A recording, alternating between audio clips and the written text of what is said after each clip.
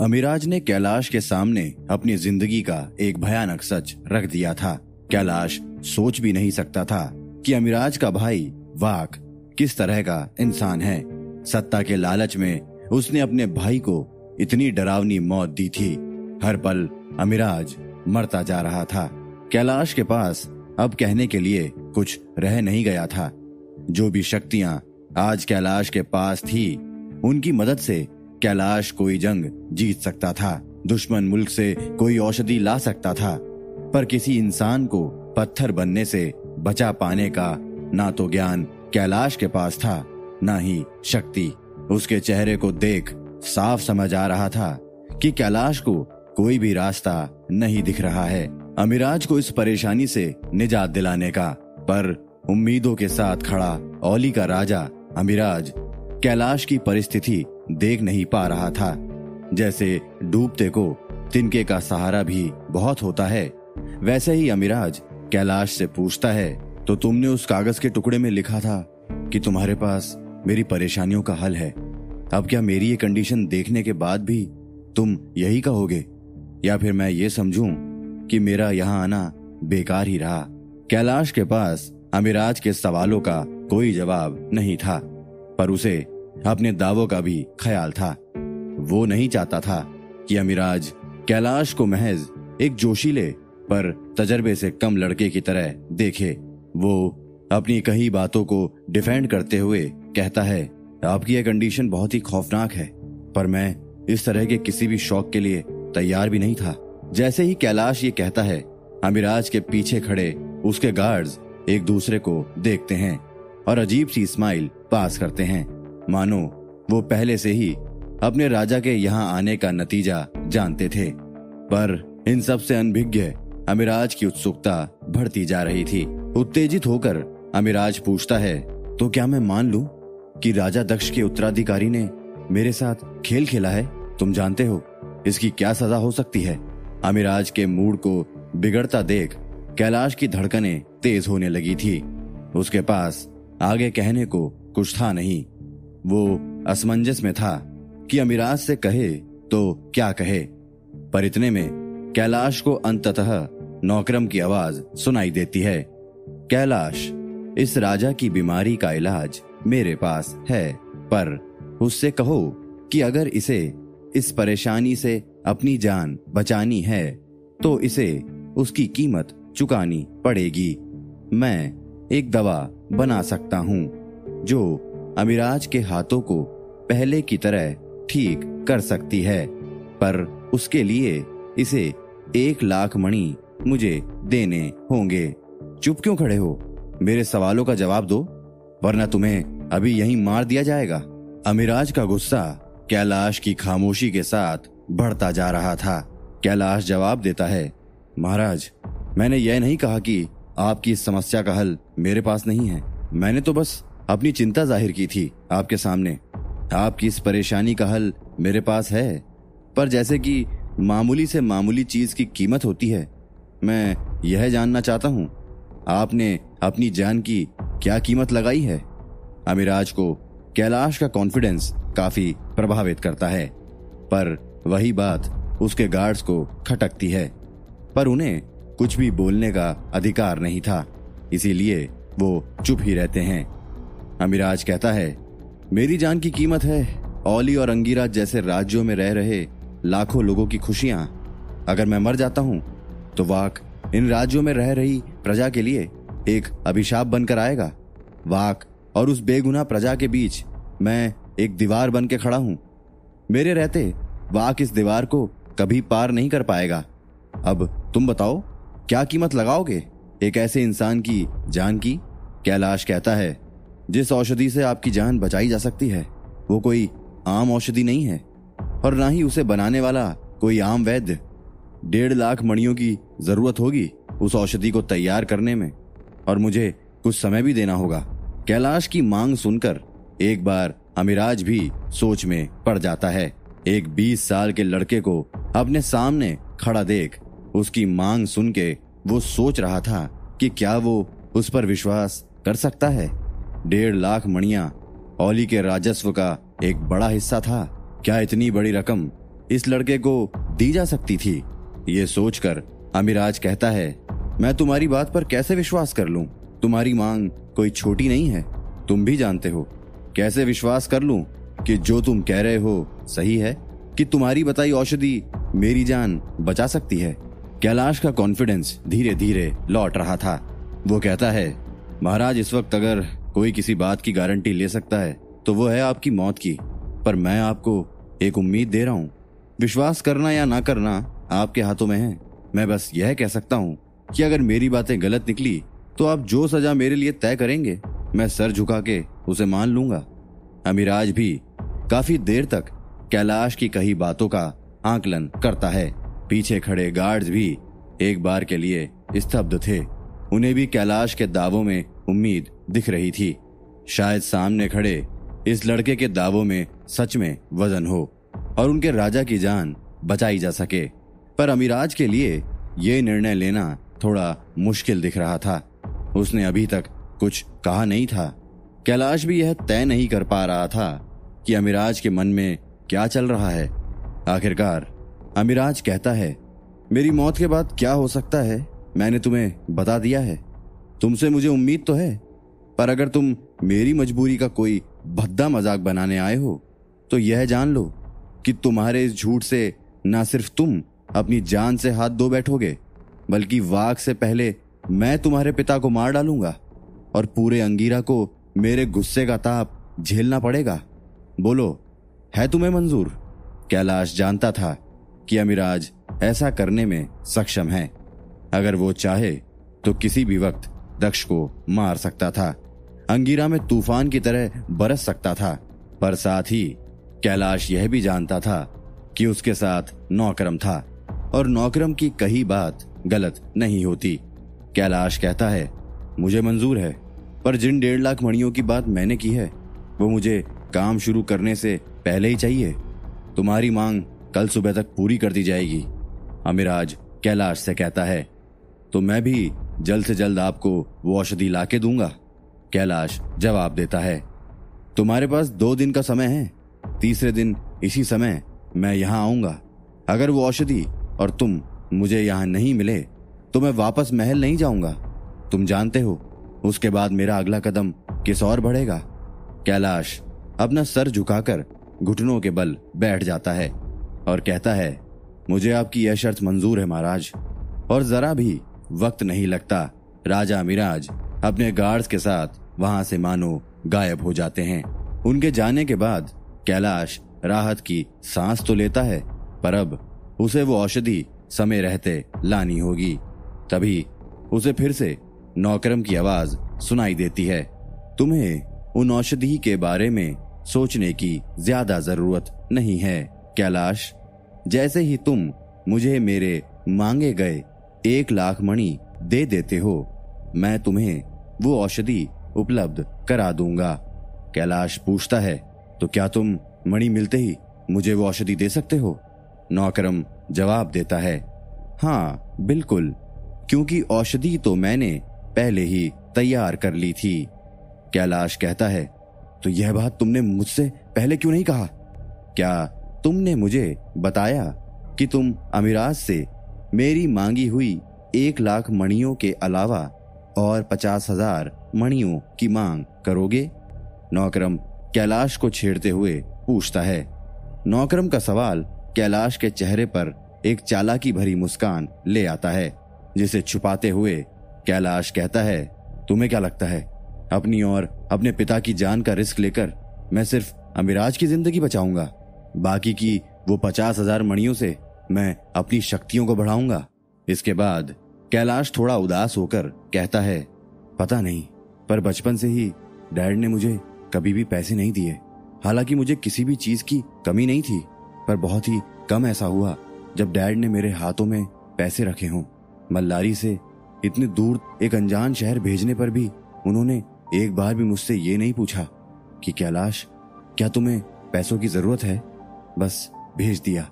यह सोचे बिना कि मेरा बेटा ओली में किस तरह बसर करेगा। कहाँ रुकेगा, क्या खाएगा? पर शायद इसमें भी उनकी कोई सोच हो। इससे मेरे अंदर सर्वाइवल इंस्टिंक्ट तो आ ही रही है। और अब मैंने कुछ पैसे भी बना लिए हैं। यकीनन, तुम्हारी मदद के बिना यह सब मुमकिन नहीं था। नौकरम कहता है, मैं समझ गया, कैलाश। तुम्हें यह बात कहने की ज़रूरत नहीं थी। अब तुम चाहो तो तुम्हें यहाँ इस वीराने में रुकने की भी ज़रूरत नहीं है। तुम ओली में किसी भी महँगे से महँगे होटल में स्वीट बुक कर सकते हो। कर तो सकता हूँ, पर यह पैसे मैं यूँ ही जाया नहीं करूँगा। इसका इस्तेमाल सिर्फ़ अपनी शक्तियाँ बढ़ाने के लिए ही करूँगा। कैलाश नौकरम को जवाब देता है। फिर वो कुछ सोचता हुआ आगे कहता है, शायद डैड मुझे यही सिखाना चाहते थे। पैसों की कीमत अब शायद मुझसे बेहतर कोई नहीं जानता। अपने डैड की बात करते हुए, कैलाश अचानक अपने आप को अकेला महसूस करता है। वीरान रात में उस घने जंगल के बीच खंडर हो चुके उस मंदिर में, कैलाश को अब अचानक ठंड का एहसास होता है। बर्फ़ गिरना भी शुरू हो चुकी है और वहाँ जल रही अलाव की आग भी मध्यम हो चली है, जिसे देखकर कैलाश कुछ लकड़ियाँ इकट्ठी करने में जुट जाता है। इधर मल्लारी में राजा दक्ष अकेले अपने कक्ष में बैठे किसी सोच में डूबे हुए थे। इतने में नीरा का वहाँ से गुजरना होता है। वो अपने गुरु को देखकर उनके कक्ष में प्रवेश करती है और पास आकर कहती है गुरुजी, आप काफ़ी चिंतित दिख रहे हैं। क्या बात है? नीरा के सवाल से दक्ष का ध्यान टूटता है और वो कहते हैं नीरा तुम कब आई? जी बस यहाँ से गुजर रही थी। तो आपको देखा। आप टेंशन में लग रहे हैं। नीरा कहती है, अपने चेहरे से चिंता की लकीरें दूर करते हुए राजा दक्ष कहते हैं, नहीं, ऐसी कोई बात नहीं है। फिर आप किस सोच में डूबे हैं महाराज? ये नीरा का अगला सवाल था। राजा दक्ष कहते हैं, कैलाश के बारे में सोच रहा था मैं नीरा। कैलाश के बारे में? सब ठीक तो है कैलाश के साथ? नीरा यहाँ अनजान बनने की कोशिश करती है। वो नहीं चाहती थी कि उसके गुरुजी को यह पता चले कि कैलाश कहाँ और क्यों गया है। उसकी मालूमात उसे है। राजा नीरा की ओर देखते हैं और मजाकिया लहजे में पूछते हैं, मुझे यकीन नहीं कि तुम नहीं जानती कि कैलाश कहाँ और क्यों गया है? नीरा का सर अचानक नीचे हो जाता है। फिर भी उसके चेहरे की शर्म छुप नहीं पा रही थी। वो जैसे तैसे कहती है गुरुजी, मुझे माफ़ कर दीजिए। मैंने आपसे यह बात छुपाई। असल में मुझे कैलाश ने यह बताने से मना किया था। उसने कहा था कि यह मिशन उसके लिए बहुत इंपॉर्टेंट है और सेंसिटिव भी। राजा दक्ष गहरी सांस छोड़ते हुए अपना सर हिलाते हैं और कहते हैं तुमसे सही कहा है उसने नीरा। एक बहुत ही बड़ा षड्यंत्र औली में होने वाला है। राजा मिराज को उनका भाई सत्ता से ना सिर्फ़ बेदखल करना चाहता है पर उसकी नज़र मल्लारी पर भी है उनकी शक्तियों का सामना हम नहीं कर सकते राजा की बात सुनकर नीरा का कलेजा बैठ जाता है वो विचलित होकर पूछ उठती है, फिर इसमें कैलाश क्या कर पाएगा गुरुजी? उसकी शक्तियाँ तो बहुत ही कम हैं। राजा का भी सर नीचे था अपनी गलती मानते हुए वो कहते हैं ना जाने मेरी भी निर्णय लेने की क्षमता को क्या हो गया है। मैंने कैलाश के ऊपर शायद फिर से उसकी शक्ति से ज़्यादा बोझ डाल दिया है और उसे फिर से एक ऐसे खतरनाक मिशन में भेज दिया है। मैंने उससे यह तक नहीं पूछा कि वहाँ जाने के बाद वो सब मैनेज कैसे करेगा, कैसे पराए मुल्क में अपना गुजारा करेगा। नीरा देखती है कि राजा दक्ष अपनी बात कहते कहते एक बड़ी सी खिड़की तक जा चुके थे। और उनकी नज़रें दूर ओली की ही दिशा में टिकी हुई थी। मानो, वो कैलाश को देखने की कोशिश कर रहे हों। क्या राजा दक्ष की दुश्चिंता सही साबित होगी और कैलाश के ऊपर कोई बड़ी विपदा आ जाएगी? पर ऐसा होता प्रतीत नहीं हो रहा है।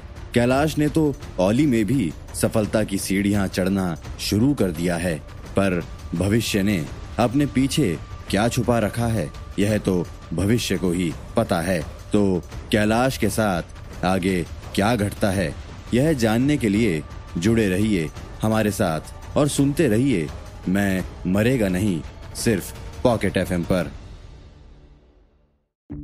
नीरा, अपने गुरुजी की मानसिक अवस्था देखकर उन्हें दिलासा देते हुए कहती है, गुरुजी, जहाँ तक मैंने देखा है, कैलाश में अचानक इतने बदलाव हो चुके हैं कि हमारा उन्हें मान पाना थोड़ा मुश्किल हो गया है। जिस तरह से उसने तक्षय और निकेत को परास्त किया, वो हमारी समझ के बाहर की बात थी। और उससे भी बड़ा कारनामा तो त्रिगुण बूटी को दुश्मन मुल्क से लाने का था। ना जाने कितने ही मुश्किलों का सामना करना पड़ा होगा उसे ऐसा करने में। हम इस बात को नजरअंदाज नहीं कर सकते कि हर बार कैलाश ने सफलता ही हासिल की है। पिता होने के नाते आपका ऐसा चिंतित होना लाजमी है। पर मुझे लगता है कि हमें अब कैलाश की शक्तियों को कम आंकने की गलती नहीं करनी चाहिए। नीरा की कई बातों ने राजा दक्ष के मन को थोड़ी राहत ज़रूर दी थी। वो मुड़कर नीरा की तरफ़ देखते हैं और कहते हैं, तुम्हारी कही हर एक बात सच है नीरा, पर तुम, मैं, हम सब, क्या तुम्हें नहीं लगता किसी अंधेरे में रखे गए हैं? कुछ तो है। जो हम नहीं जानते हैं। मेरा मन रह रहकर बस उसी बात को सोचता है कि अचानक कैलाश के अंदर इतनी सारी शक्तियों का संग्रहण कैसे हुआ? मेरा मन और मस्तिष्क बार बार यही सवाल पूछता है, पर कोई भी जवाब नहीं मिलता है। इस बात का जवाब नीरा के पास भी नहीं था। उसने भी कई बार कैलाश से सच जानने की कोशिश की थी, पर कैलाश ने हमेशा किसी बहाने का सहारा लेते हुए नीरा के उन सवालों को चकमा दे दिया था। और आज क्या, राजा दक्ष, क्या नीरा सभी इस बात से अनभिज्ञ थे कि कैलाश के साथ ऐसा क्या हो रहा था? तभी नीरा कहती है, कैलाश ने मुझे भी अभी तक इस बारे में कुछ बताया नहीं है महाराज। मैं भी सच जानने की उतनी ही इच्छुक हूँ जितना आप। आज नहीं तो कल सच सामने आ ही जाएगा। पर तब तक हमें अपने मन को इस बात से ही खुश रखना होगा कि कैलाश के अंदर का यह बदलाव बहुत ही अच्छा है, उसके लिए, आपके लिए, और पूरे अंगिरा के लिए भी। नीरा की बात राजा दक्ष को सही मालूम होती है। वो मुस्कुराकर नीरा की ओर देखते हैं और कहते हैं, रात काफ़ी हो गई है नीरा, अब तुम अपने कमरे में जाओ। जी गुरुजी। ऐसा कहकर नीरा वहाँ से निकल जाती है। अपने कक्ष में आते ही नीरा के चेहरे में चिंता के बादल वापस मंडराने लगते हैं। वो तुरंत अपना फ़ोन निकालती है और कैलाश को कॉल करती है, पर कॉल कनेक्ट नहीं हो पाता है। थकी सी नीरा अब मायूस भी लग रही थी। उसके मन में कई ख्याल आ रहे थे। हर बुरे ख्यालों से लड़ती हुई वो कैलाश के ही ख्यालों में सोने चली जाती है। इधर औली के उस प्राचीन मंदिर में कैलाश भी सोने की कोशिश कर रहा था। आग की तेज लपटें कैलाश के शरीर को वहाँ की हड्डी जमा देने वाली ठंड से काफ़ी राहत पहुँचा रही थी। पर इस आराम के समय में भी कैलाश की आँखों में नींद दूर दूर तक दिखाई नहीं दे रही थी। वो भी नीरा के ही ख्यालों में खोया हुआ था। उसका मोबाइल पूरी तरह से डेड हो चुका था। कैलाश अपने मोबाइल को वापस ज़मीन पर रख देता है। उसे दुख है कि वो इस अकेलेपन में नीरा से बात नहीं कर पा रहा। वो यहाँ ओली में गुजारे हर एक पल को उसके साथ साझा करना चाहता था, पर कर नहीं पा रहा था। करवट बदलता हुआ कैलाश अपनी आँखें बंद कर सोने की कोशिश करता है। इधर अमिराज अपने महल के कक्ष में बैठा था। उसके दोनों गार्ड्स भी वहाँ मौजूद थे। उनके बीच कैलाश के साथ हुई उस मुलाकात के बारे में ही चर्चा चल रही थी, और शायद अमिराज के सामने खड़े उसके विश्वसनीय गार्ड्स अमिराज को एक बार अपने इस निर्णय के बारे में दोबारा सोचने के लिए मजबूर कर रहे थे, और इसी कोशिश में उनमें से एक गार्ड कहता है, महाराज, यह सही कह रहा है। हमें इतनी बड़ी रकम उस लड़के के हाथों में देने से पहले एक बार फिर से सोच लेना चाहिए। कैलाश के बारे में हम सब जानते हैं। राजा दक्ष के बेटे के पास कोई भी शक्तियाँ नहीं हैं। यह बात किसी से छुपी नहीं है। और फिर अचानक आज उसका आपसे ऐसी संदिग्ध अवस्था में मीटिंग करना और वो दावा करना जो हमारी हज़ार कोशिश के बाद भी ठीक नहीं हो पाया।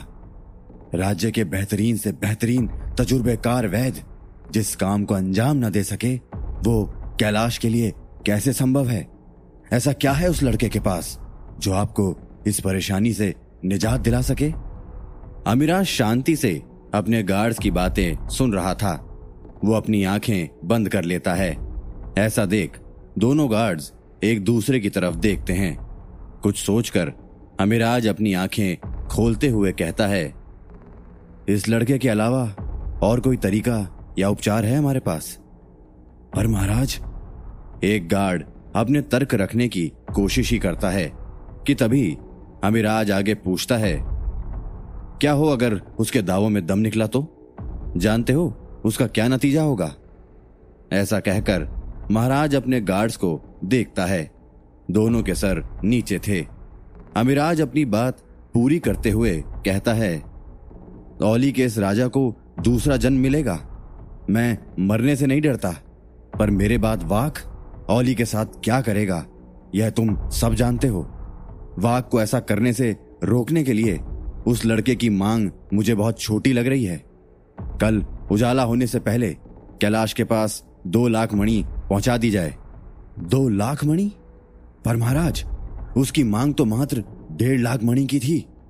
गार्ड अमिराज से कहता है अमिराज के चेहरे के बदले भाव देखकर ही गार्ड आगे कहता है, आप जैसा कहें महाराज, मैं अभी मणि का प्रबंध कर लेता हूँ। दोनों गार्ड्स अपने सर नीचे करते हैं और वहाँ से जाने लगते हैं।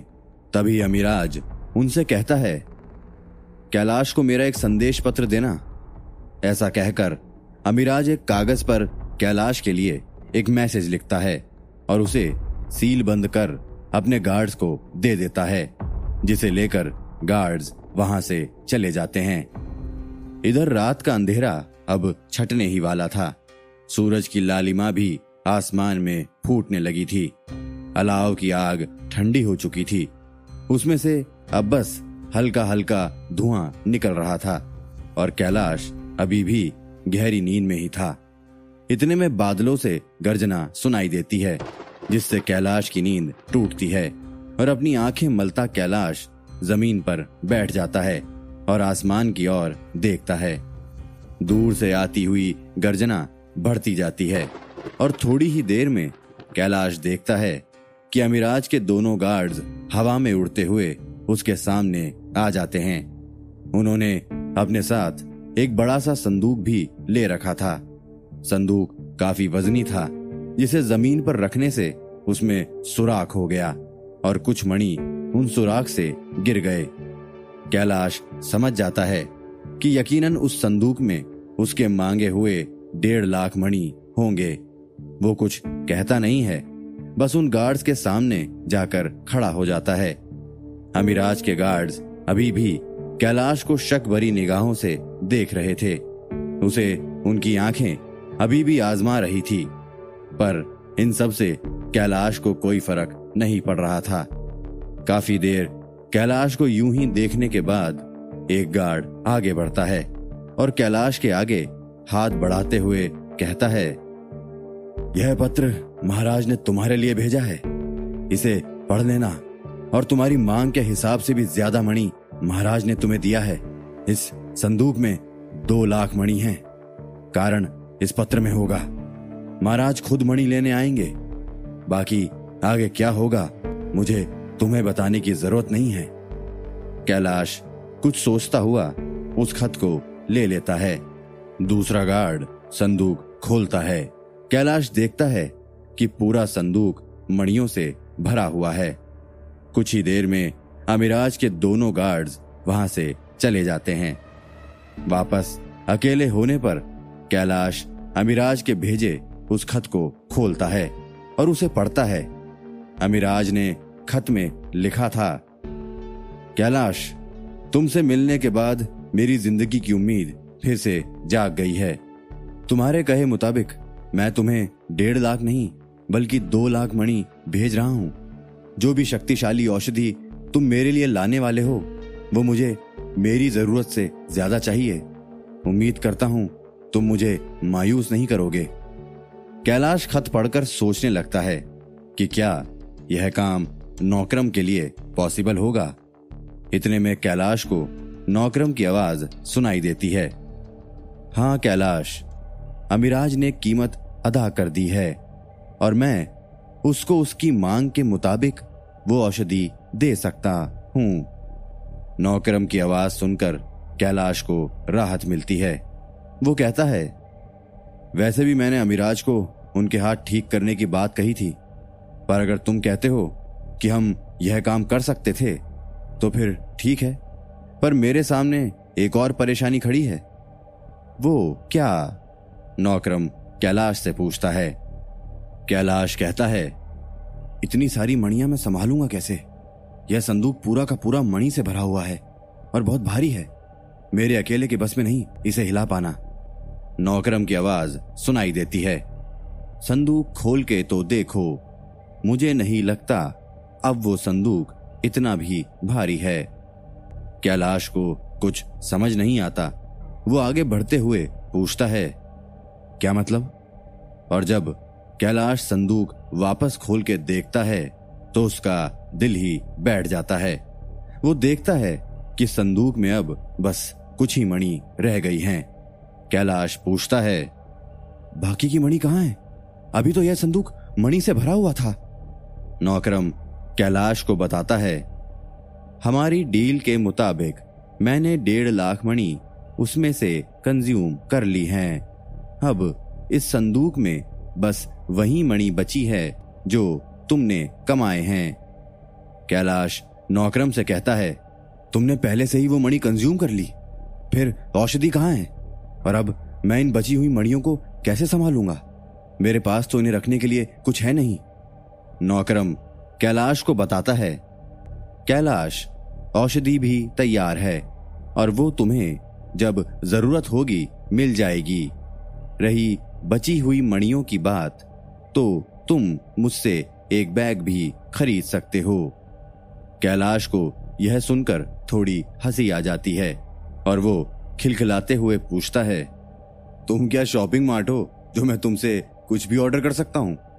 नौकरम जवाब देता है हाँ कैलाश, पर मैं कई गुना अपग्रेडेड प्लेटफॉर्म हूँ। मतलब कैलाश पूछता है।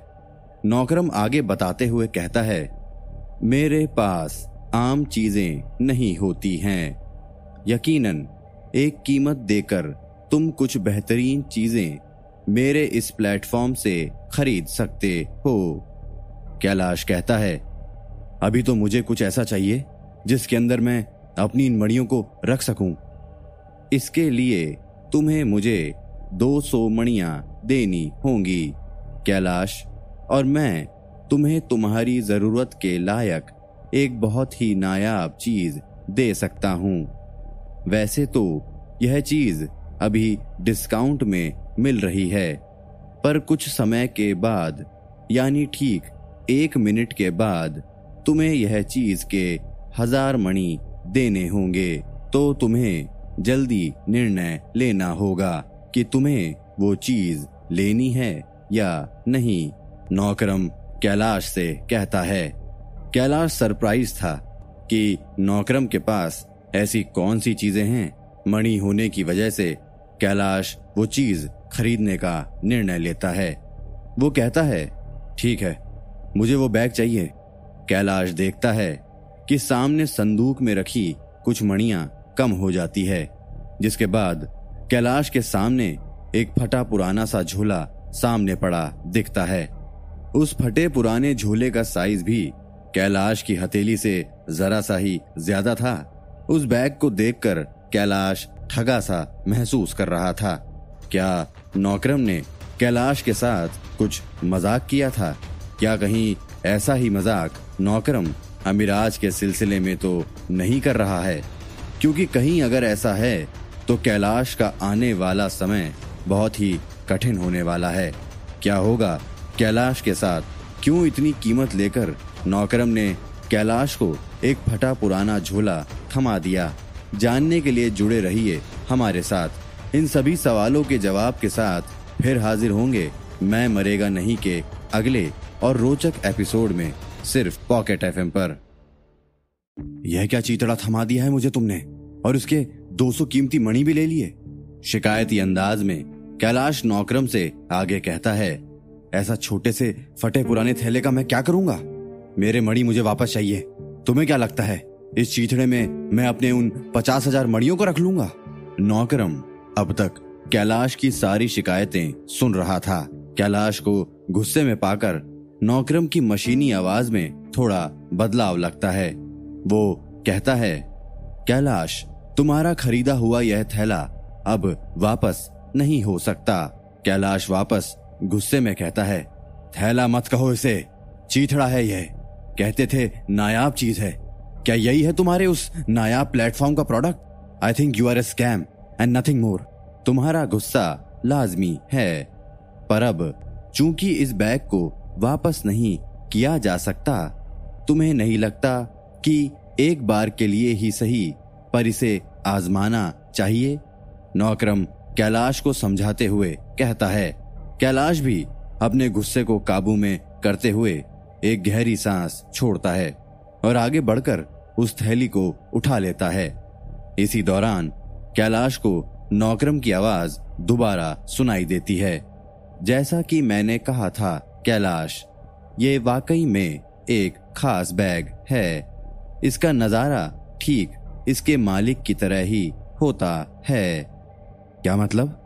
उस छोटी सी थैली को पास से निहारते हुए कैलाश नौकरम से पूछता है।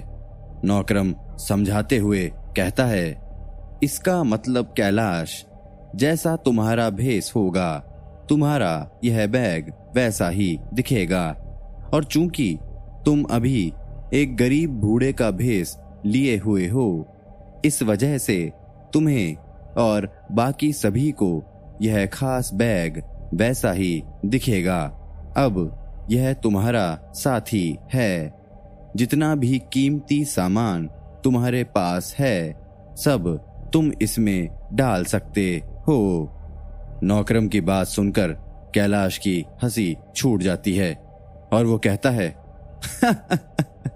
इस छोटे से तुम्हारे बैग में मैं अपने पूरे पचास हज़ार मणि डाल सकता हूँ। क्यों मज़ाक कर रहे हो सुबह सुबह मेरे साथ? नौकरम कहता है, पचास हज़ार तो नहीं। हाँ पर उनचास हज़ार आठ सौ मणि तो ज़रूर रख सकते हो। और उसके अलावा भी बहुत कुछ यह बैग समा लेगा। सामने पड़ा तो टूटा हुआ संदूक भी।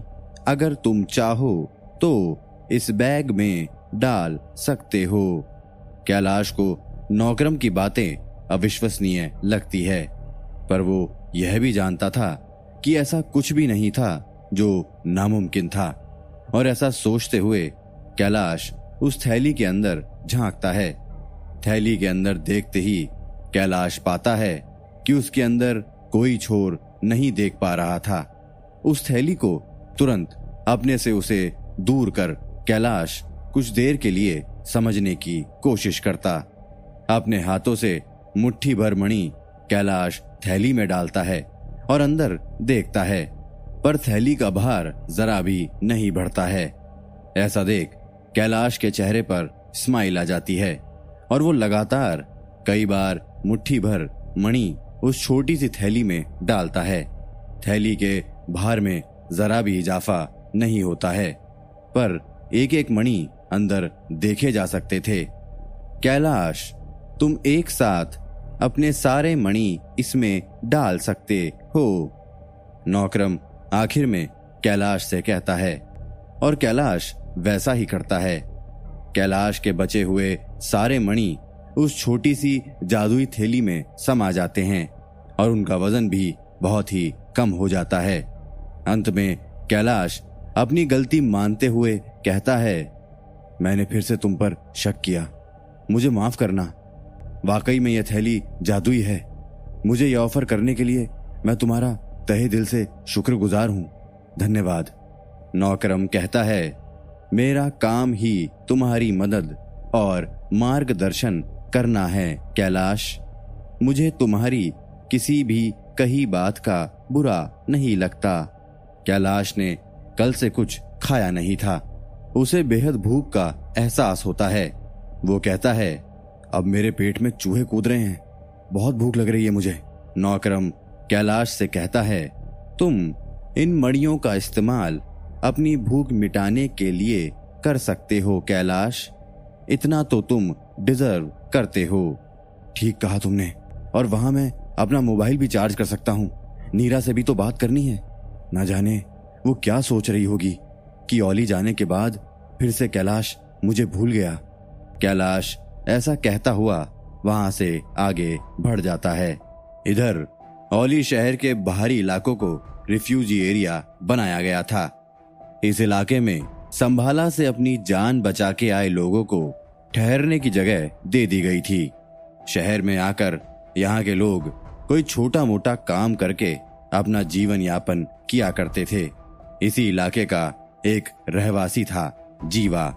यह भी जैसे तैसे संभाला से अपनी जान बचाकर यहाँ आने वालों में से एक था और अपने आप को काफ़ी किस्मत वाला भी मानता था। जीवा एक नॉर्मल इंसान था। शक्तियों में भी मूल योग के दूसरे चरण में ही फंसा जीवा एक साफ़ दिल इंसान था। यहाँ रह रहे लोगों का बहुत ज़्यादा शोषण किया जाता था। इन्हें थोड़े से पैसों के लिए काफ़ी काम करना पड़ता था, पर यहाँ रह रहे लोग ऐसा करने के लिए भी खुशी खुशी राज़ी रहते थे। इस इलाके को कई भागों में बांटा गया था और हर भाग के एक सुपरवाइजर था। जिसके नीचे यह सभी निगरानी में रहा करते थे। वो सुपरवाइजर इन्हें काम भी दिलाया करता था। अगर वो चाहे तो किसी भी वक्त इन रिफ्यूजीज को वापस उनके राज्य रवाना कर सकता था। किसी भी इंसान को जब इतनी पावर दे दी जाए तो उसका करप्ट होना तय हो जाता है। और ऐसा ही कुछ बीकू के साथ भी हुआ था।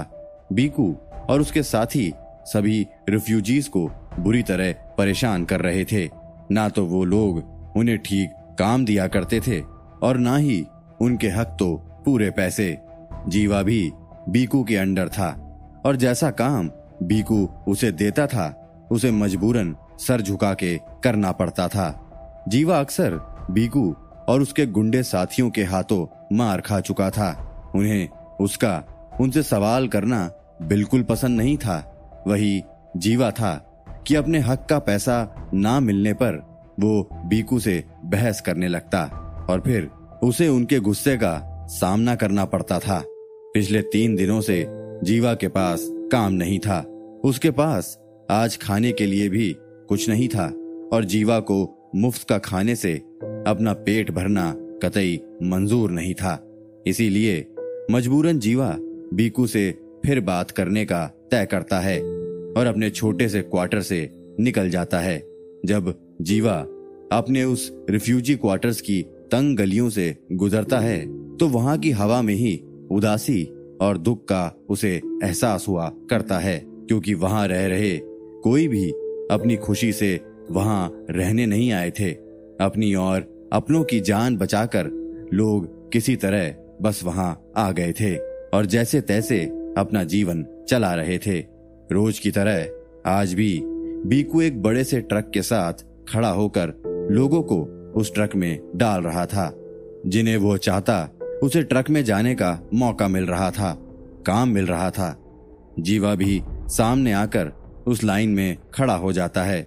जीवा का सर झुका हुआ है और अब धीरे धीरे लाइन आगे बढ़ती जा रही थी। जीवा देखता है, बीकू ने एक बूढ़े आदमी को एक ज़ोर का तमाचा मारा है। और जीवा तक उसकी चिल्लाने की आवाज़ सुनाई देती है। इधर लाइन में तो ऐसे खड़ा है? मानो यही है जो ओली का पूरा काम कर देगा। हट जाना इधर से और दिखना नहीं मुझे आज के बाद। यहाँ टाइम पे काम करने वालों की ज़रूरत है। टाइम पास करने वालों की नहीं। जीवा देखता है कि बीकू के आदमी एक बूढ़े आदमी को भीड़ से उठाकर दूर फेंक आते हैं। धीरे धीरे लाइन आगे बढ़ रही थी और जीवा भी कुछ ही दूर था बीकू के। बीकू की नज़र भी जीवा पर पड़ गई थी। उसके चेहरे पर एक अजीब सी शैतानी भरी स्माइल आ चुकी थी। बूढ़े के साथ बीकू का बर्ताव देखकर जीवा का खून खोल उठता है। पर आज उसने अपने आप को किसी तरह संभाल लिया था। उसे पैसों की सख्त ज़रूरत थी। वो भूखा था। कुछ ही देर में जीवा बीकू के सामने आकर खड़ा हो जाता है। बीकू उसे देख के तुरंत अपने आदमी से पूछता है, लोगों की और ज़रूरत है क्या? बीकू का साथी कहता है, नहीं बॉस, आज का कोटा पूरा हो गया। जीवा की आँखों में देखते हुए बीकू बोलता है, चल जा वापस, अपनी खोली में। जाकर तोड़ लेना फ्री के टुकड़े। बीकू की कही बातें सुनकर जीवा के दिल में सांप लौट रहा था, पर वो बेबस था, कुछ नहीं कर सकता था। अपना सर झुकाकर जीवा वापस जाने लगता है। तभी बीकू का दूसरा साथी आकर उसके कानों में कुछ कहता है, जिस बात को सुनकर बीकू की शैतानी आँखों में एक अलग ही चमक आ जाती है और वो ज़ोर से चिल्लाकर कहता है, ओए, एक काम है तेरे लायक, करेगा क्या? जीवा तुरंत मुड़कर बीकू की तरफ़ उम्मीद भरी नज़रों से देखता हुआ कहता है, जो भी काम हो, मैं कर सकता हूँ। चल बैठ ट्रक में। बीकू जीवा से कहता है, और बिना समय गवाए जीवा ट्रक पर सवार हो जाता है। बाकी के लोग, जिन्हें काम नहीं मिला था, वो सभी दुखी होकर वापस लौटने लगते हैं। बीकू उनसे कहता है, चलो चलो, सब वापस जाओ। कल आना। कल तुम लोगों को कुछ काम दूँगा मैं। ऐसा कहता हुआ बीकू चुने हुए मजदूरों को ट्रक में भरकर वहाँ से निकल जाता है। इधर कैलाश अब औली में आ चुका था और भीड़ से गुजरता हुआ किसी एक अच्छी होटल की तलाश में था। उसका पहनावा अभी भी वही बूढ़े का था। बस फ़र्क यह था कि आज कैलाश के पास एक छोटा सा झोला भी था, जिस पर किसी का भी ध्यान नहीं जा रहा था। कोई भी उस झोले को देखकर ये नहीं कह सकता था कि उसमें बेशकीमती मणि हज़ारों की तादाद में थे। कैलाश को। अब उसका खरीदा हुआ बैग बेहद पसंद आने लगा था। अपने जादुई बैग के बारे में ही सोचता हुआ, कैलाश अब भीड़ से होता हुआ एक बड़े से स्क्वायर में आ जाता है। यहाँ सैकड़ों की भीड़ थी और सभी हाई क्लास लोगों का वहाँ से गुजरना हो रहा था। सभी कैलाश से अपनी दूरी बनाकर ही चल रहे थे। इतने में कैलाश को भी एक अच्छा सा रेस्टोरेंट दिखता है। वो वहाँ खाने के लिए आगे बढ़ जाता है। गेट में बड़ा दरबान, कैलाश को देखकर उसे अंदर जाने की अनुमति नहीं देता है। वो उससे कहता है, अरे बाबा, इधर अंदर जाना अलाउड नहीं है। बड़े लोगों के खाना खाने की जगह है ये आप कहा जा रहे हो? मैं भी तो बड़ा ही हूँ, बेटा। कैलाश उस आदमी के सवाल के जवाब में कहता है। कैलाश की बातों से दरबान को हँसी आ जाती है।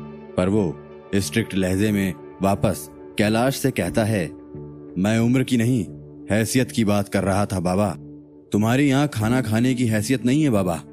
जाओ यहाँ से और पास ही रिफ्यूजीज के लिए लंगर लगा रखा है महाराज ने। जाकर वहाँ अपना पेट भर लो। ऐसा कहता हुआ वो दरबान कैलाश के कंधे पर अपना हाथ रखता है और उसे जकड़ता हुआ कैलाश को दरवाजे से दूर करने की कोशिश करता ही है कि कैलाश को यह बेजती नागवार गुजरती है और गुस्से में आकर कैलाश उस दरबान के हाथ को पकड़कर वापस घुमा देता है। फोर्स इतना तेज होता है कि उस दरबान का पूरा शरीर हवा में कई बार घूमकर ज़मीन में धड़ाम से गिर जाता है। तब तक कैलाश के कदम आगे बढ़ चुके थे और वो अब होटल के बड़े दरवाजे से अंदर दाखिल हो जाता है। दरबान अपने आप को संभालता है और वापस खड़ा होकर कैलाश के पीछे भागता है। जिस वक्त कैलाश ने उस दरबान को हवा में ही पटकनी दी थी, तभी रिफ्यूजीज से भरी ट्रक वहाँ से गुजर रहा था और यह पूरा नज़ारा बीकू ने देख लिया था। वो तुरंत ट्रक से नीचे कूदकर होटल की ओर भागता है और उसके पीछे उसके चारों साथी भी भागते हैं। क्या होता है? कैलाश के साथ, उस होटल में, क्या कैलाश को अंततः अपनी शक्तियों का प्रदर्शन करना पड़ेगा? क्या बीकू और उसके गुंडे कैलाश की सच्चाई जान जाएँगे? उसका चेहरा, जिसे अब तक उसने छिपा रखा था, सबके सामने ले आएँगे। जानने के लिए जुड़े रहिए हमारे साथ। इन सभी सवालों के जवाब के साथ फिर हाजिर होंगे। मैं मरेगा नहीं के अगले और भी रोचक एपिसोड में सिर्फ़ पॉकेट एफएम पर। दरबान ज़मीन पर इतनी ज़ोर से गिरा था कि उसका दिमाग पूरी तरह से चकरा चुका था और उसी कंडीशन में वह होटल के दरवाजे की ओर भागता है। पर कुछ ही कदम उसके आगे बढ़ते हैं और वो फिर से लड़खड़ाता हुआ डिसबैलेंस होकर गिर जाता है। उसकी नज़रें यूँ तो होटल के दरवाजे पर ही थी, पर वहाँ पहुँचने के लिए उसका शरीर अब साथ देता नहीं दिख रहा था। इस बार दरबान अपने आप को वापस खड़ा करता है, पर इसके बजाय कि वो तेज़ी से उस बूढ़े का पीछा करे, पहले वो अपने आप को संभालने की कोशिश करता है, और इसी दौरान बीकू और उसके आदमी भी वहाँ पहुँच जाते हैं, और दरबान से कहते हैं, क्या हुआ? कौन है वो बूढ़ा? दरबान की नज़र बीकू पर पड़ती है और अपने सामने कुछ चार पाँच हट्टे कट्टे बंदों को पाता है। इन्होंने सरकारी यूनिफॉर्म पहन रखी थी। दरबान तुरंत उनको सल्यूट करता हुआ कहता है, सर, मैं नहीं जानता कौन है वो बूढ़ा। बस मुझे चकमा देकर अंदर चला गया। मैंने उसे रोकने की काफ़ी कोशिश की, पर बीकू उस दरबान को टॉन्ट मारता हुआ कहता है तुम्हारी कोशिश देखी हमने। बीकू, अपने साथियों से कहता है, चलो अंदर, देखते हैं किस रिफ्यूजी में इतनी हिम्मत आ गई है। सभी होटल के अंदर प्रवेश करते हैं। उनके पीछे दरबान भी जैसे तैसे अंदर आ जाता है। सभी अंदर आकर देखते हैं तो वहाँ सब नॉर्मल पाते हैं। होटल के अंदर की बड़ी सी लॉबी, जिसमें कई गेस्ट देखे जा सकते थे। अंदर ही एक कैफेटेरिया भी था। जहाँ लोग बैठकर सुबह सुबह ब्रेकफास्ट का लुत्फ उठा रहे थे। यहाँ कहीं भी उस बूढ़े को नहीं देखा जा सकता था। बीकू उसके आदमी और दरबान सभी की नज़रें सिर्फ़ उस आदमी को खोज रही थी, जिसने बिना इजाज़त इस बड़े से एक्सक्लूसिव होटल में घुसने की गलती की थी। बीकू अपने साथियों से कहता है, देखो चारों ओर, यहीं कहीं होगा। बीकू का ऑर्डर मिलते ही उसके आदमी रोबोट्स की तरह चारों ओर फैल जाते हैं। बूढ़े को कहीं भी नहीं देखा जा सका था। सभी अचरज में थे कि वो बूढ़ा आखिर कहाँ गायब हो गया।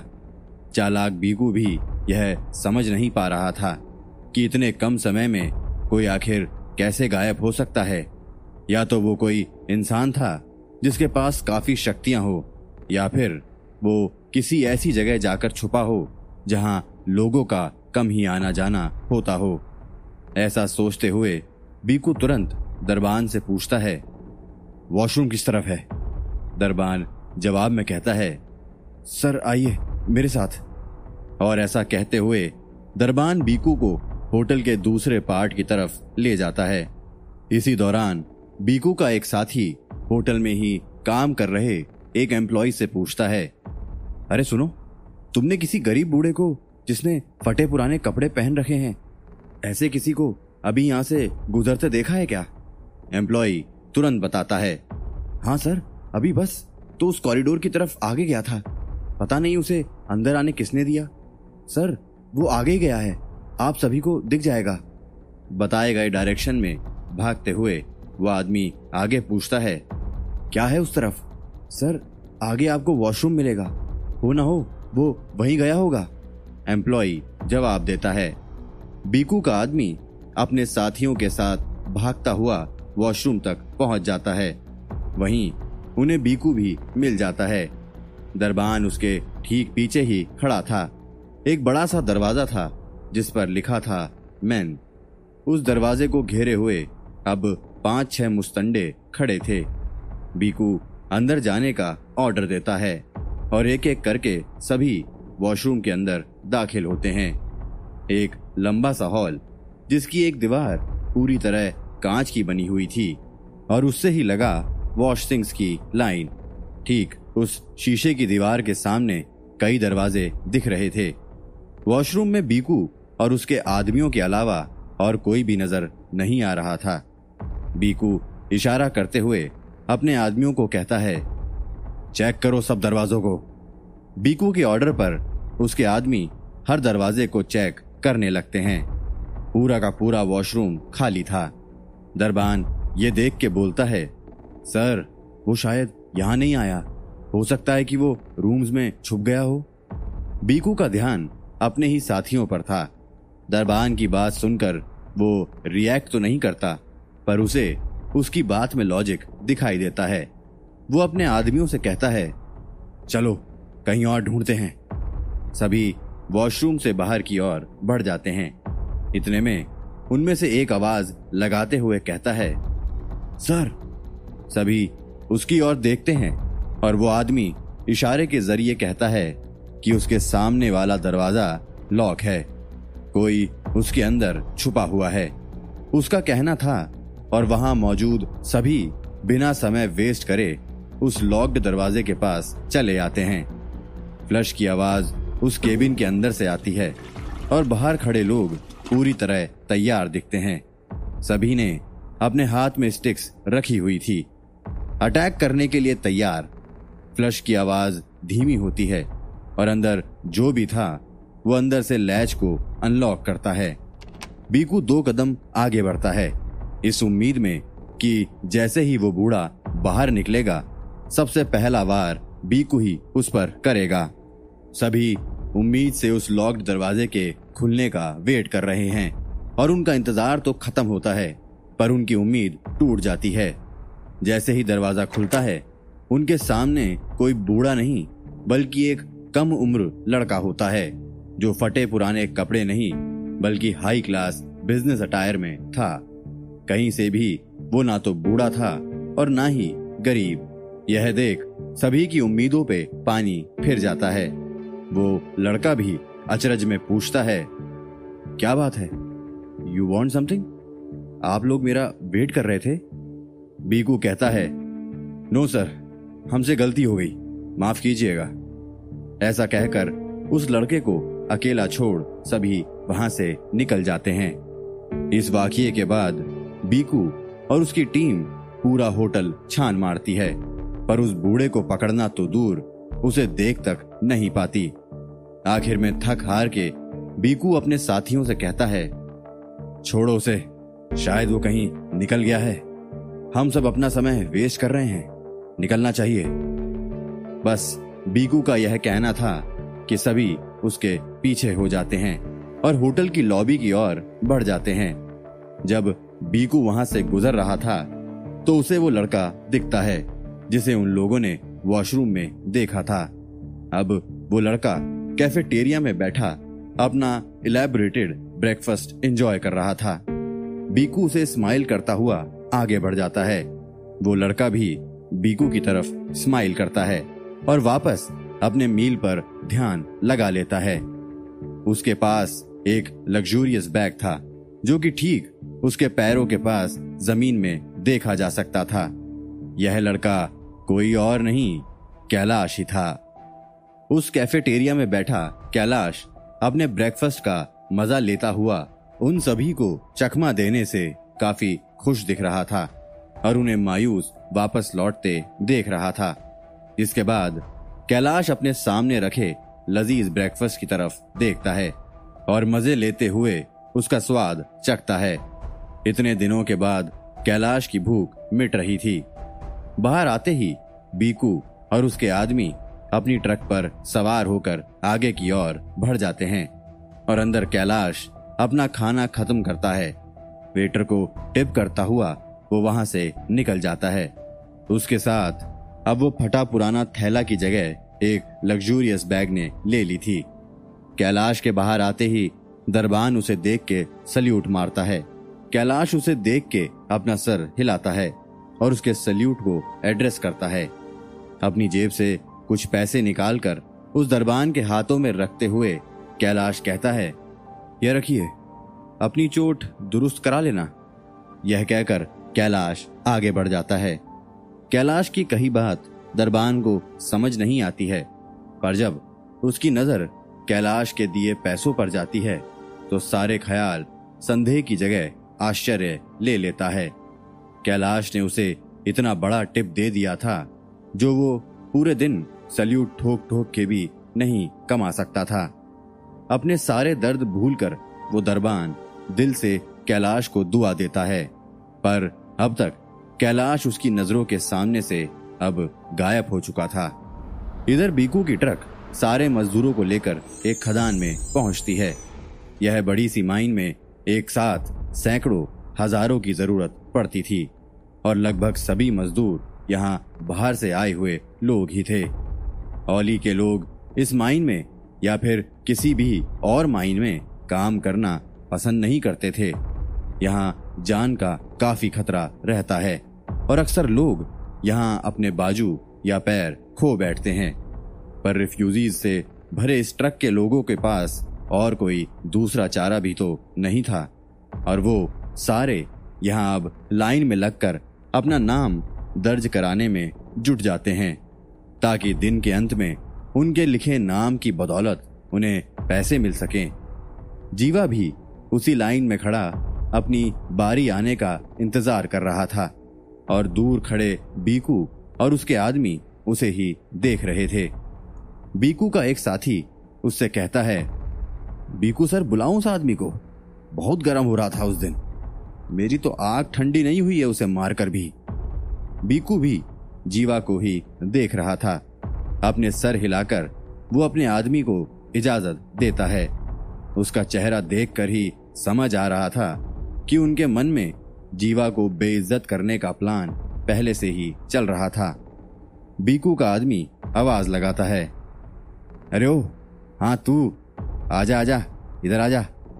जीवा ने उन लोगों को देख लिया था और समझ भी गया था कि वो उसे ही आने का इशारा कर रहे थे। जीवा ना चाहते हुए भी लाइन से दूर होता हुआ बीकू की ओर आगे बढ़ता है। जब जीवा बीकू के सामने आकर खड़ा होता है तो कंफ्यूज्ड होकर पूछता है हाँ सर, आपने मुझे क्यों बुलाया? मैं तो बस काम करने आया हूँ। कोई भी गलती नहीं की है मैंने। बीकू के आदमी जीवा की बात सुनकर हंसने लगते हैं। बीकू कहता है अरे गलती की है, इस वजह से थोड़ी ही ना तुझे यहाँ बुलाया है। वो तो बात ऐसी है कि तुझे यहाँ काम नहीं करना है। जीवा, बीकू की बात नहीं समझ पाता है और कहता है मतलब सर, मैं कुछ समझा नहीं। देख, ऐसा है। बीकू, जीवा के मज़े लेते हुए कहता है, तुझे हमने यहाँ माइन में काम करने के लिए नहीं लाया था। तेरे लिए तो हमने पहले से ही कुछ दूसरा काम सोचा है।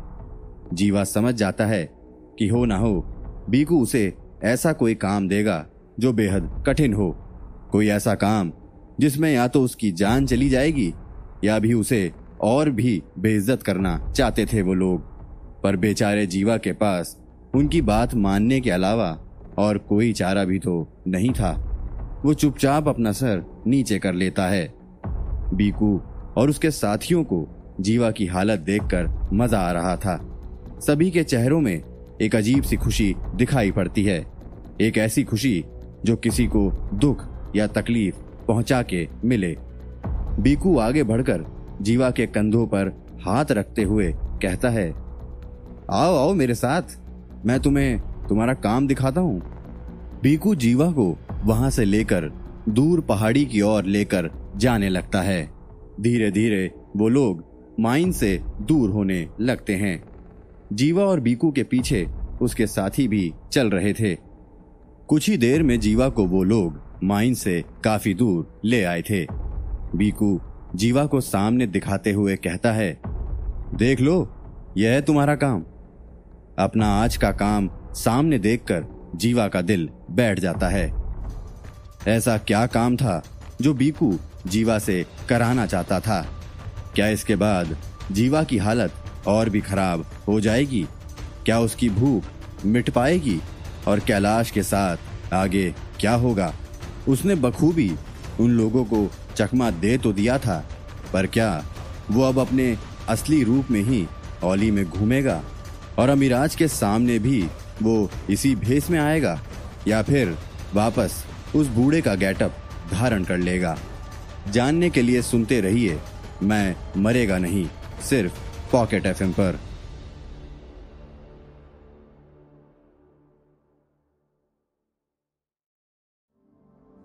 इधर कैलाश काफ़ी खुश दिख रहा था।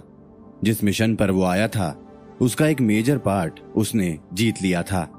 रही वाक की प्रॉब्लम तो वो जानता था कि अमिराज एक बार पूरी तरह से ठीक हो जाएगा तो फिर शायद वो खुद ही अपने भाई से निपट लेगा।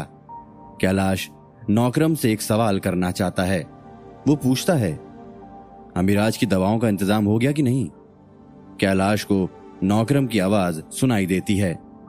हाँ कैलाश, दवा तो पहले से ही उसी मंदिर में पड़ी हुई थी।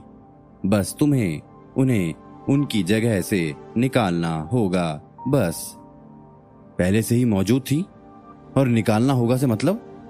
कैलाश कंफ्यूज हुआ। नौकरम से सवाल करता है। नौकरम कैलाश को बताता है, कैलाश, उस खंडर नुमा मंदिर में ही वो औषधियाँ तुम्हें मिल जाएँगी। मंदिर की एक मूर्ति के नीचे मैंने वो औषधि रख दी है। वो किसी के हाथ नहीं आने वाली। बस तुम्हें वहाँ समय पर जाकर उन्हें निकालना है और अमिराज को दे देना है। बस तुम्हारा काम खत्म। उसके बाद अमिराज उन दवाओं को लेकर अपनी परेशानी दूर कर सकता है। कैलाश के मन में संतुष्टि थी कि नौकरम ने उसे पहले से ही सब बता दिया था। अब उसके लिए शायद ये काम ज़्यादा मुश्किल नहीं था। कैलाश को एहसास होता है कि जब वो ओली के उस भीड़ भाड़ वाली जगह से गुजर रहा था तो उसे वहाँ से गुजर रही कुछ लड़कियाँ मुस्कुराते हुए देख रही थी। और ऐसा एक नहीं, दो तीन बार हो गया था। कैलाश को अचानक अपने असल रूप का एहसास होता है। कैलाश तुरंत अपने आप को भीड़ से दूर करता है। वो नहीं चाहता था कि वो अपने असली रूप में लोगों की नज़र में आए। लड़कियों का अट्रैक्शन पॉइंट बनना किसे अच्छा नहीं लगता। कैलाश को भी अंदर ही अंदर यह बात मीठी सी खुशी तो दे रही थी। पर साथ ही उसे इस एहसास के साथ नीरा की भी याद आती है। वो तुरंत अपना मोबाइल निकालता है, जो कि अभी भी डेड था, जिसे देख कैलाश काफ़ी डिसअपॉइंटेड फील करता है। नीरा से बात करने के लिए उसे अब जल्द से जल्द अपने मोबाइल को चार्ज करना होगा। बीकू जीवा की हालत देखकर बहुत ही ज़्यादा खुश था। वो कहता है, क्या हुआ? अभी तो मैंने तुझे काम समझाया ही नहीं है और तेरे चेहरे से रंग गायब हो गया। जीवा के सामने अंतहीन पहाड़ियों की श्रृंखला के साथ तीन विशाल काय नाले दिख रहे थे। यह औली शहर की सारा वेस्ट वाटर यहाँ डिस्पोज किया जाता था। तीनों नालों में हर एक से तूफानी बहाव के साथ नाली का पानी बह रहा था। मानो किसी डैम से पानी छोड़ा जा रहा हो। और यह गंदा पानी सीधा एक गहरी खाई में जाकर गिर रहा था। जीवा को उस खाई की गहराई नज़र भी नहीं आ रही थी, पर जिस तेज बहाव के साथ उन नालों से पानी निकल रहा था, उसके कंपन से जीवा के दिल की धड़कनें बढ़ चुकी थी। जीवा के पास पिछले कई दिनों से काम नहीं था, और उसे आज पैसे कमाना ही था, अपनी भूख से निजात पाना ही था। भड़ी हुई दिल की धड़कन के साथ जीवा पूछता है, क्या करना होगा मुझे? बीकू उसे कहता है, देख, पीछे जिस जगह से हम आ रहे हैं, वहाँ पाँच माइंस एक्टिव हैं। परेशानी यह है कि इन नालों का पानी बहकर उन माइंस में भी आ रहा है और काम रुक रहा है, आउटपुट कम हो रहा है। मैं चाहता हूँ कि पहले तो तू आगे जाकर उन तीनों नालों के वॉल्स बंद कर और फिर नीचे उतरकर देख कि कहाँ से पानी माइंस में घुस रहा है। जब वो पॉइंट मिल जाए तो उसकी मरम्मत करके वापस इन नालों के वॉल्स खोल दे। जीवा ने आज तक इस तरह का काम नहीं किया था।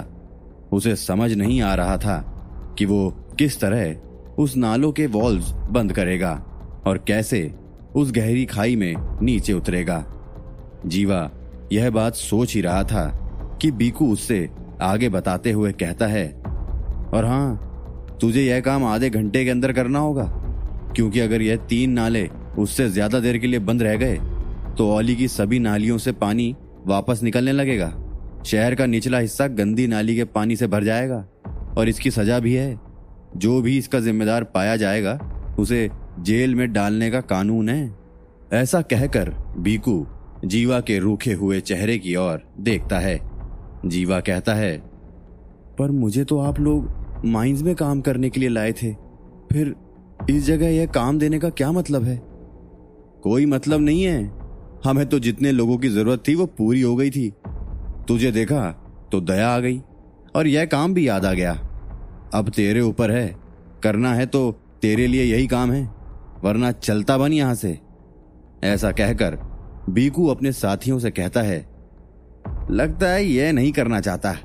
जाने दो। अब यहाँ से चलते हैं। किसी और को यह काम दे देंगे।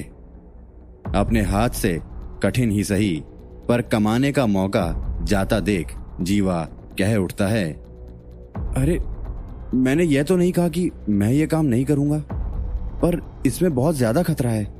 जान भी जा सकती है मेरी। बस इसीलिए।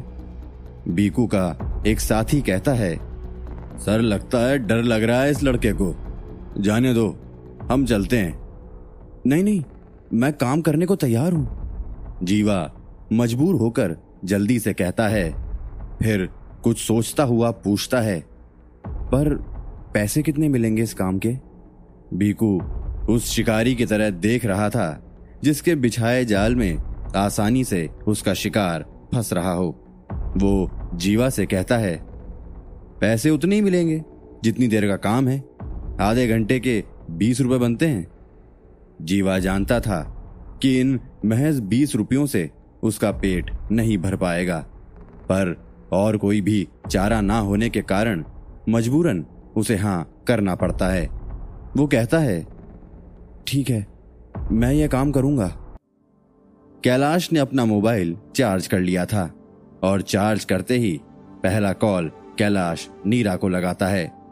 नीरा अपने ऑफ़िस में बैठकर अपने काम में डूबी हुई थी कि उसका मोबाइल रिंग होता है।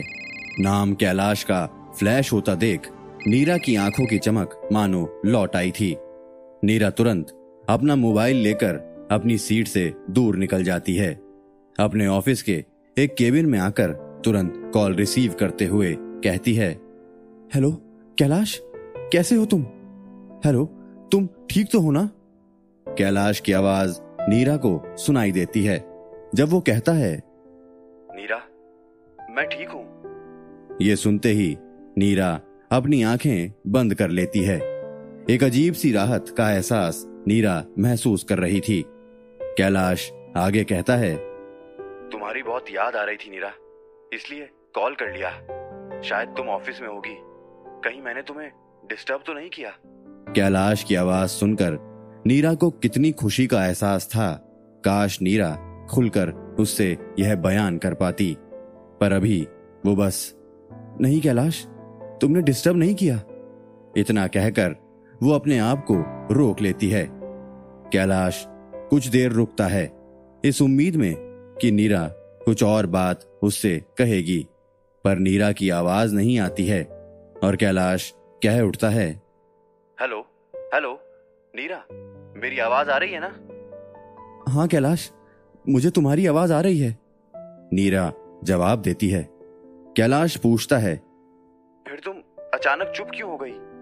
यूँ ही कैलाश कहने को तो बहुत कुछ है पर वैसे देखा जाए तो कुछ भी नहीं। यहाँ तो सब वैसे का वैसा ही है। बस कुछ नया है तो तुम्हारी गैर हाजिरी। जिसकी आदत डालना मेरे लिए तो बहुत ही मुश्किल है। फिर नीरा कैलाश से आगे कहती है, तुम कब वापस आओगे कैलाश?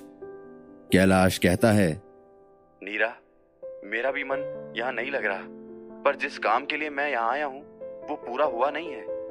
कल शाम तक मुझे उम्मीद है, मैं फ्री हो जाऊँगा और सीधा तुम्हारे पास आ जाऊँगा। कैलाश की बातें नीरा के चेहरे में खुशी लेकर आ जाती है। तभी कैलाश पूछता है। मैंने यहाँ जो देखा है तुमसे शेयर करना चाहता हूँ। राजा मिराज से मेरी मुलाकात कैसी रही? सब बयां करना चाहता हूँ तुमसे। मैं भी वो सब जानना चाहती हूँ कैलाश। गुरुजी की जिज्ञासा भी बढ़ी हुई है तुम्हें लेकर। वो चिंतित भी रहते हैं।